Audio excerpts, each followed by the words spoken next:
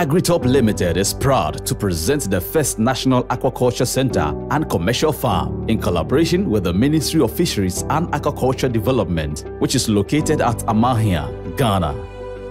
The newly inaugurated first of its kind aquaculture center follows the tremendous success of previous 10 key projects, which were also designed, constructed, and managed by Agritop Limited between the years 2016 to 2021. Dawhenya, Akomadan, and Bawjiase greenhouse capacity buildings and training centers and 100 kids the center, which was built in 18 months, was inaugurated by the President of the Republic of Ghana, His Excellency Nana Addo Dankwa Akufo-Addo, on June 8, 2023.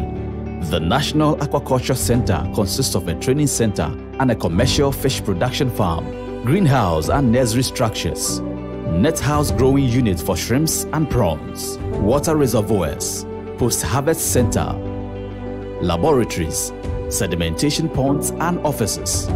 The project has a targeted annual production of 200 tons of fresh fish. The main goals of the center are introduce modern technologies in the aquaculture sector by recirculating aquaculture system production, train the youth of Ghana in efficient fish production with a 13-week intense course. Agritop's fish experts equip trainees with all the tools necessary to succeed in aquaculture farming. Equip fish farmers with the skills required to engage in aquaculture increase local fish production by using modern aquaculture technologies. The National Aquaculture Center and Commercial Farm will serve as a knowledge hub for aquaculture in Ghana.